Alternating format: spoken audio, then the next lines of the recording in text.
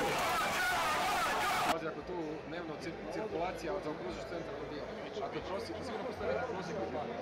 u